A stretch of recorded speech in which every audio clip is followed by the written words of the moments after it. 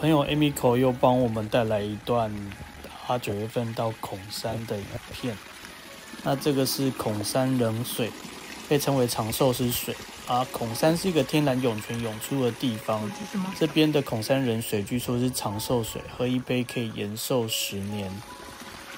呃，喝两杯延寿十年，喝第三杯之后到死前都可以永葆青春。据说水周边的死者亡灵和魂魄也会饮用此水。接下来，Amico 带我们到了呃三途之川旁边的朵伊婆跟玄义翁哦。お邪魔します。夏エバと中国由来の経典十王経には死後の世界の話が記されています それによりますと人が亡くなって三途の川までやってくるとそこに脱衣場が待ち構えていて身ぐるみを剥がしてしまうのだそうです。その衣装を脱衣脱剣ネオウが受け取って傍らの柳。あこの子に。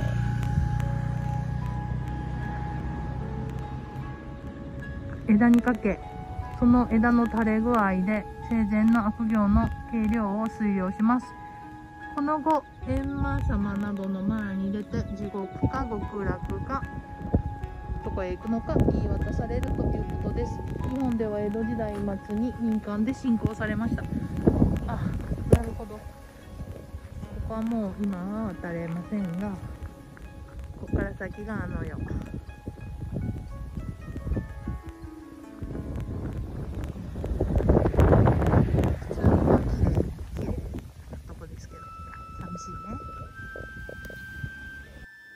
罗伊婆跟玄一翁是守在三途川的守门人。那三途川就是我们所说的奈何。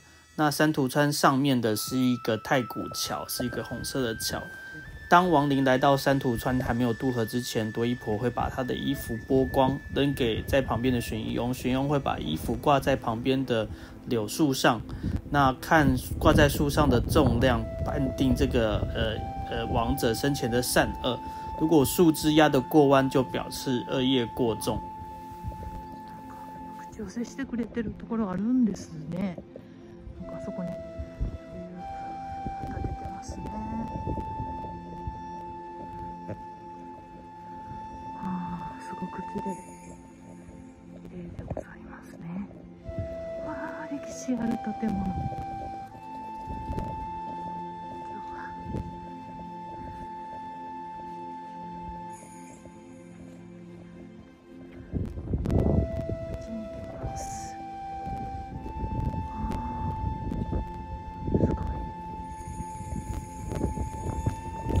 孔山的菩提寺是天台中的僧侣元人，又号称持觉大师，在八百六十二年创建的。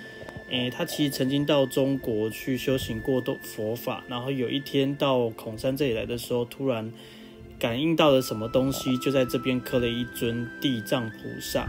后来这边就有了孔山的菩提寺。青森县的孔山跟诶，京都的比瑞山和歌山县的高野山并称为日本的三大林场。林场这一个词主要在日本使用，意字面的意思就是指灵魂聚集的地方，通常在日本会是神社、寺院或墓地。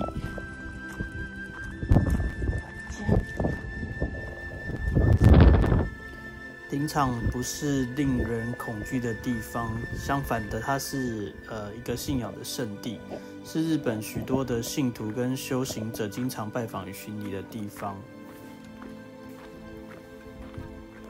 这里是赛之河原，是出生前或刚出生便死去的胎和窝婴儿在渡过三途之川前堆积石子的地方。据说这样做是为了供养父母。堆积起来的小石子会多次被鬼怪破坏，但至今仍留有传说。即使如此，逝去的婴儿灵魂也会被菩萨所供养。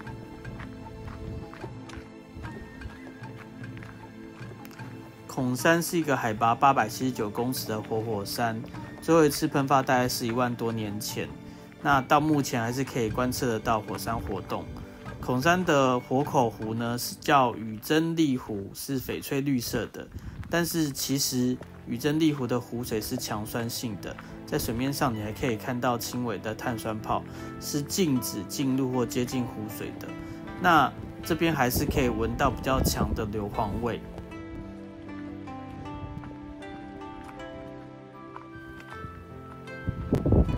孔山与志贺的比瑞山、和歌山的高野山并称为日本三大林场。呃，孔山还被认为是与死后世界和地狱有很大相关的地方。那因为孔山地形的关系，它这边你会看到很多很像地狱的场所，比如说雪之池地狱，这边其实是因为苔藓变色呈现红色的一个池子。那这里是供奉因残酷劳动而死去女性的场所，还有无间地狱。无间地狱被称为是最严酷的地狱。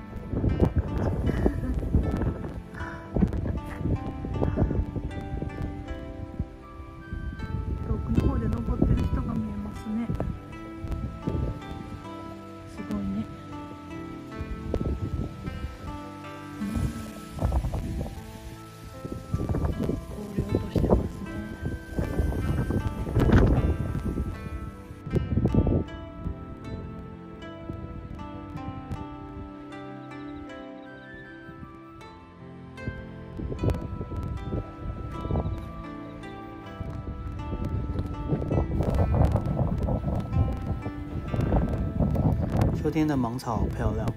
在经过多处地域之后，我们会看到极乐冰，这是火口湖与真丽湖的沙滩。它跟之前的孔山的地域形成了强烈的反差，因此会被称为极乐冰。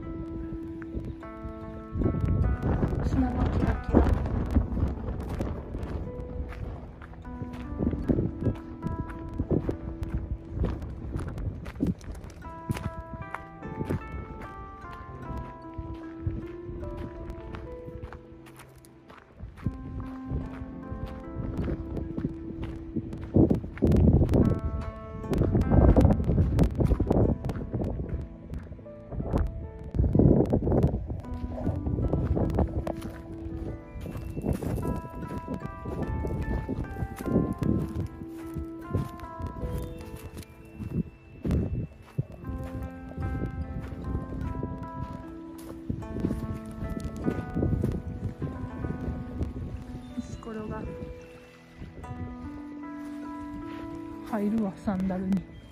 サンダルからめっちゃ入ってくるわ。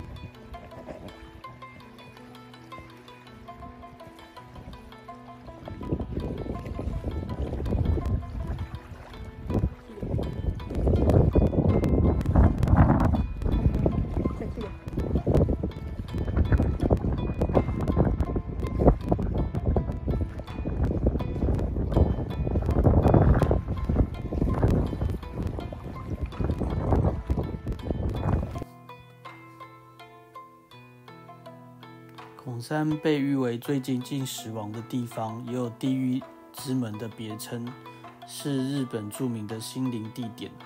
其实我这些资料都是从呃网络上的 Gate 或是孔山的官网，或是一些旅行者的网站上面看来的。那 Amiko 说，他到这个地方来，除了呃孔山的风景之外，他还住了住住在这边住了一个晚上。然后这边有提供温泉跟精进料理，跟全员都可以到本堂去诵经，但这边没有电视，没有电波，也就是没有网络。然后这边的温泉是一千两百年前就有的，但是不能泡到眼睛，因为这边的硫磺是非常强的。然后因为硫磺的关系，所以住宿的地方电器制制品都很容易损坏。这是日本三大林场之一，可以在这边泡温泉，可以住宿，然后呃带本书这边念，可能是最舒服的方式。那我也从网络上参考了一些资料，这是 Amiko 带给我们的影片跟照片。啊，这是住宿的地方，精进料理，尤其是这些素菜是非常的看起来非常漂亮，好吃。然后温泉，哇，看起来好古色古香，好漂亮哦！谢谢 Amiko 这次的体验。其实我一直剪不太出来这个影片，因为资讯量太大了，我必须先阅读过之后再分享给大家。如果中途有讲错的地方，或是我引用错误的地方，请大家见谅，也可以给我一些指教。非常大家看我的频道，也谢谢 Amiko 的分享。请帮我的频道《科技台湾难》按赞、订阅、分享。那大家也可以从呃孔山的诶官网上面去参考。那听说有一个盗版的网站，大家要注意。大家可以参考孔山的网站，上面有许多的介绍，也有中文哦。再次谢谢 Amy Co 提供我们那么精彩的影片跟照片。那非常抱歉，我那么晚才剪出来，但我真的觉得这是一个非常漂亮的地方。有机会的话，希望我也可以去。